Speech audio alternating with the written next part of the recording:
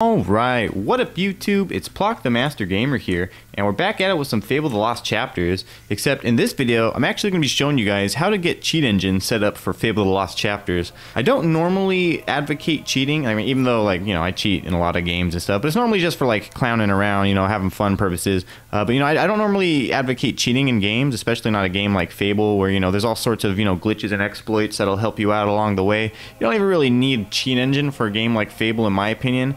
Uh, but I did get some comments, or at least one comment, inquiring uh, how I how I got you know Cheat Engine working on Fable. You know what what you need to do to get it hooked up and whatnot. So I decided I'd make it into a video for you. Um, so yeah, here it is. Uh, now first things first. Uh, so you're gonna want to download Cheat Engine.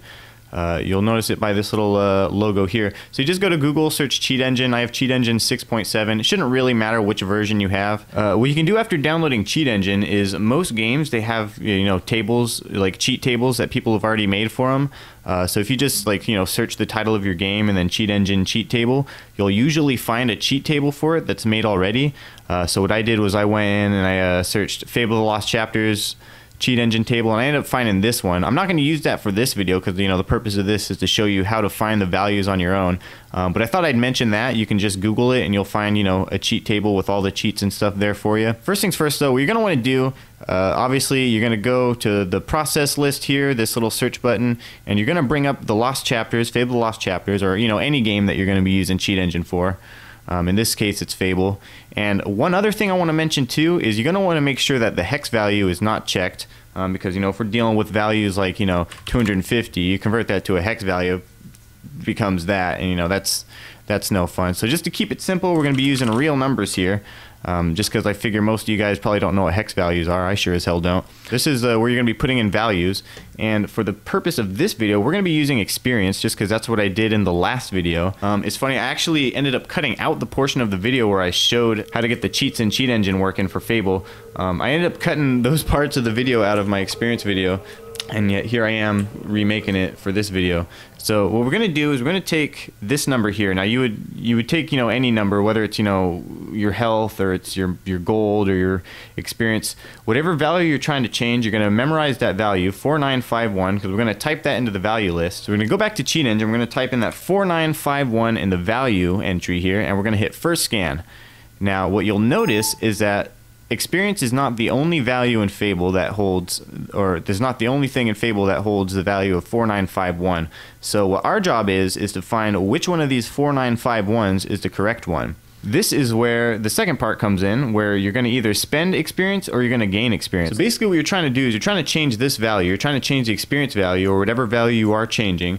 You're going to want to change that so that it is different than the value that you just searched up. So it's basically to be able to differentiate it from the list of other 4951s, you're going to make it into a different number. So what we're going to do is we're going to spend some experience uh, we're going to spend it on physique, and that'll bring the experience value down to 4947. So now we're going to go back into Cheat Engine, and you'll see here one of the values changed to 4947.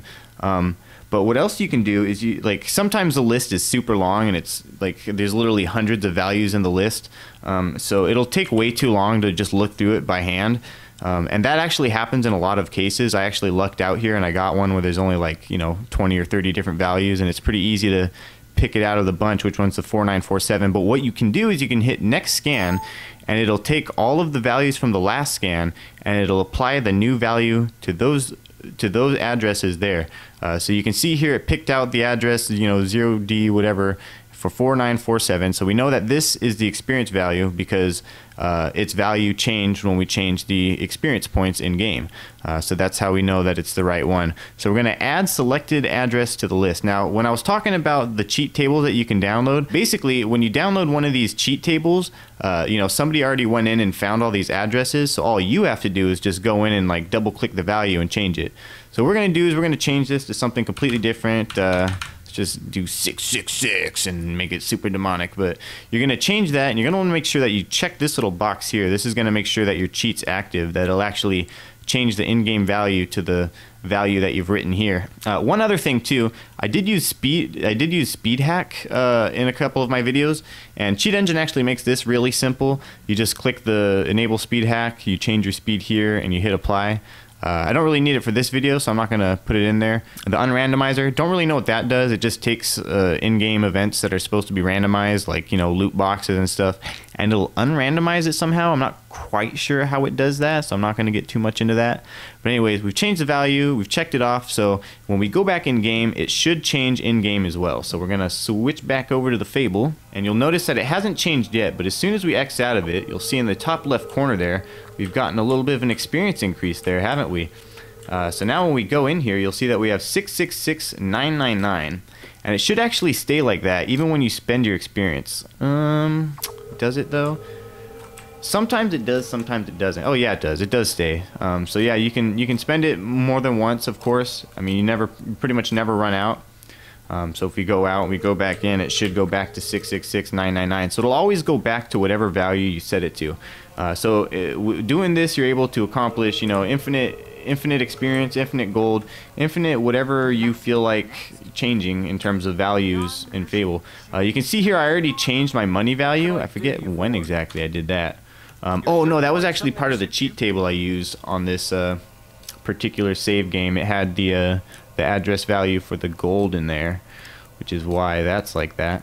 Um, but yeah, if we go in and we buy some stuff, it should, you know, since we don't have it active, it should keep those values and not change beyond that, right? So yeah, see how it didn't go back to 9999999? That's because uh, the cheat that was active when I saved the game is no longer active, so it no longer uh, retreats back to that 99999 value. Uh, but anyways, that's pretty much it in terms of using Cheat Engine in Fable. Anything that has a monetary value code-wise can be changed via Cheat Engine. It can be kind of a pain in the ass to find all the things that you're wanting to change, which is why I do recommend going to Google and just searching for, you know, cheat tables. Especially some of these games have been around for, you know, 10, almost 20 years. So, I mean, quite a few people have made cheat tables for these. There's definitely not a lack of cheat tables out there. They are plentiful. So, yeah, hope you guys enjoyed this video. Hope you guys found it useful, you know, learned something, um, especially those of you that were wondering about it. Um, but yeah, this this doesn't only apply to Fable. Of course, it'll apply to any any game really. Just change any values on the fly. Uh, but yeah, if you liked it, make sure you leave a like. Make sure you subscribe to my channel if you want to see any more of this content or any other gaming content. And I'll see you guys in the next video. Peace out.